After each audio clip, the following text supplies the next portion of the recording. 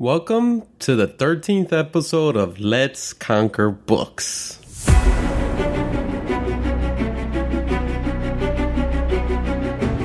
Stephen Hawking said, Nothing is better than reading and gaining more and more knowledge. In this episode, I talk about how the Compound Effect book will help you understand that minor adjustments practiced consistently have a lasting effect. Also, creating momentum requires establishing daily rituals, weekly and monthly rhythms, and tracking systems to check routines for consistency. C. And lastly, be an active participant in decision making. So let's get into it.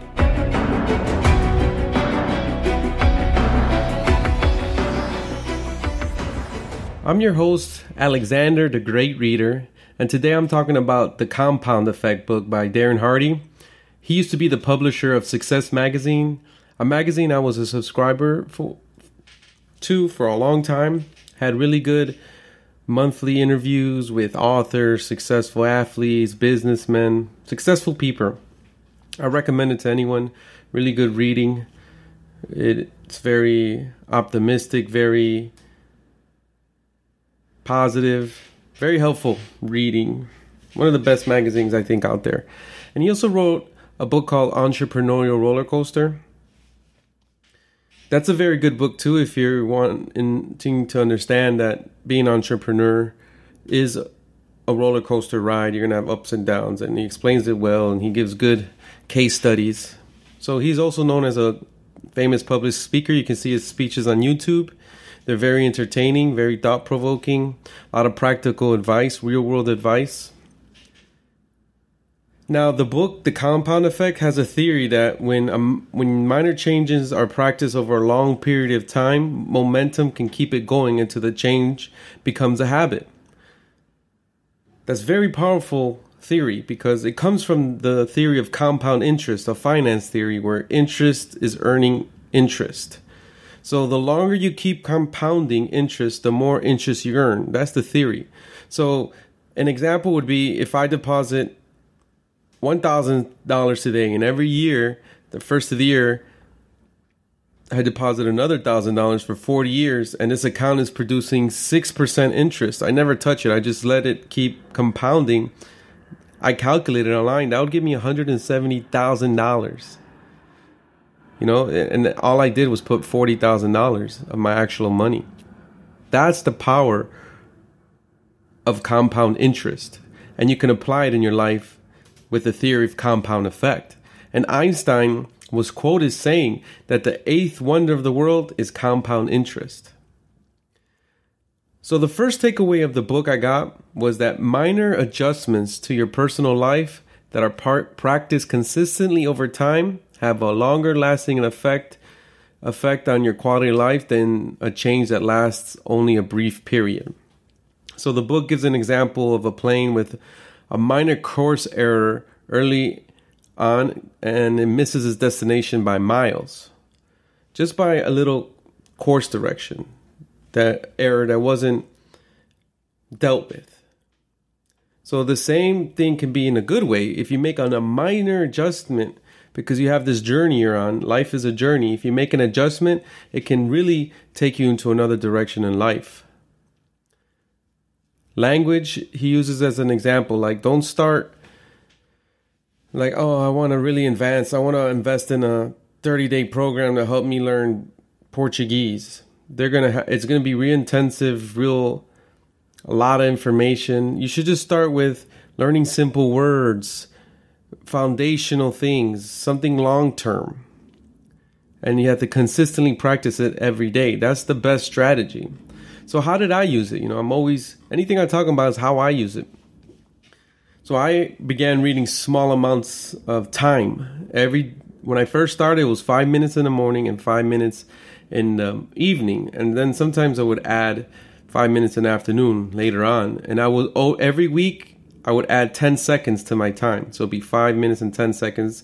A week later, five minutes and twenty seconds, and I kept growing and growing till today, an hour and thirty minutes a day, sometimes more and it wouldn't have been right for me to just start like okay i want to read an hour and a half right away so i'm going to read 30 minutes in the morning 30 minutes in the afternoon 30 minutes at night I would have failed.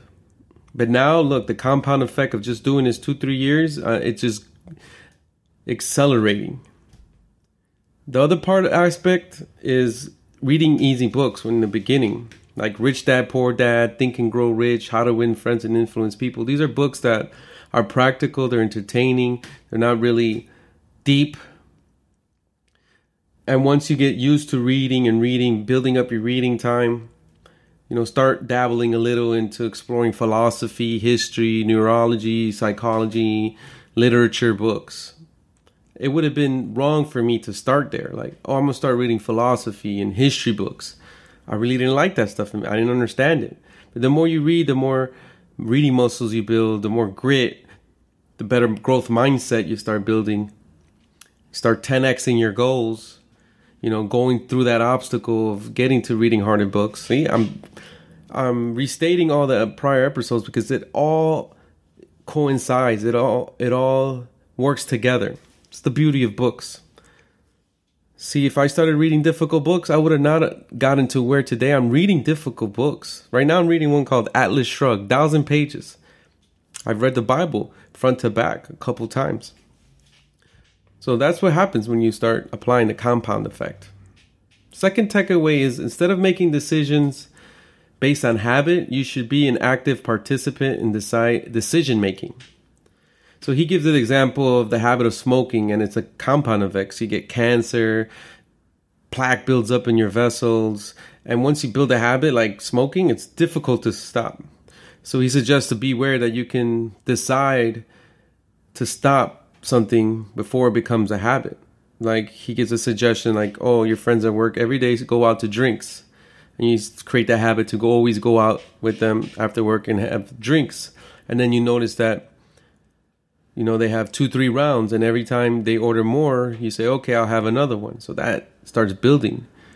He says that you have a decision to say no i'm not going to go and drink with you guys and i'm not going to have more drinks. You know you can go once in a while but you're making that decision. It's not becoming a habit. And you can skip a couple rounds you know like no i'm not going to have a drink this round. So how did i use it? I i started to read whenever possible. That was a decision I made. So while I was waiting in lines, waiting for my wife or someone shopping in the car, I always had a book or a book downloaded on, my phone. That was the decision that I was making instead of, you know, watching, um, looking at my phone, looking at people walk around, people gazing. You know, I just said, no, I'm not gonna make that a habit like most people, and I'm just gonna read my book. Same thing when my family's watching TV or I'm at a gathering and people are watching TV. I grab my phone and start reading it. You know, right now people see as normal as looking your phone while other people are doing stuff. So you could just be reading a book. So that was that habit I decided to do, which is compounding now, and it's gonna it's helping me read more. The takeaway three, and the last one is creating the needed momentum for small changes to have a big impact requires establishing daily rituals, weekly and monthly rhythms, and tracking systems to check routines for consistency. Now, example that he uses is when if you're looking to start a exercise routine and eating healthy. So you know books experts suggest morning is the best time. Get it out of the way. You're it'll help you with your energy during the day. But you know some people like my wife and a lot of mothers and fathers we have kids and we got to get them ready. So it's difficult. So just find the time in your schedule is what he was saying and stay consistent and add other aspects to this exercise and eating hold. He says you know at certain times you need to drink water because that's important. Uh, getting a personal trainer to start accelerating your goal. Start separating time to consistently make healthy meals, you know, on certain days. Spend time online looking for recipes once a month so you don't get bored. Now, how I did it for books, and all these things I talk about is applicable in all types of life, whatever you're trying to do. But my, my this podcast, what I'm all about, my vision is books. It's all about books. So I wanted to read 60 books a year. So I found the best times for reading was in the morning, get it out of the way at nighttime. And I was using a timer because that, you know, that's how you stay consistent. That's how you make it a daily ritual. You grab the timer and boom, boom, you get it done. Another thing that helped me was consistently building my reading list online on Goodreads. That helped me to keep reading because I wanted to get to the next one and keep bringing that list down, keep that hunger in me. And lastly, I, I, participated in reading challenge. Goodreads has reading challenge, and that helps you track. You know, like if you're ahead, if you're behind, how many page, pages you're reading. Seeing those statistics, like Nick from Book Thinkers mentioned, it's gamifying, gamifying the the challenge of reading 60 books a year. That's what tracking does, and it helps a lot. So now, just after you know three years of really concentrating read, I've I have the goal of reading 100 books a year and I achieved that last year with 105 books. So imagine the compound effect of 30 years of reading 100 books a year. I'm excited to see where that where I'm going to be in 30 years. It's really going to change the course. This minor adjustment I started is going to change the course of my journey. I know it is. Well, that's it for the episode.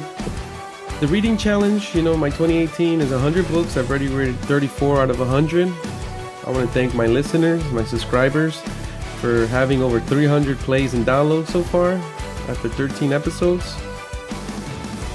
Uh, this ep- this series is still going to be six, and I'm going to stick with it. And you know, connect with me on Twitter, Instagram, and Facebook. The links are in the description. I spend a lot of time on Instagram, a little bit on Twitter, not very much on Facebook. So see you on the next one.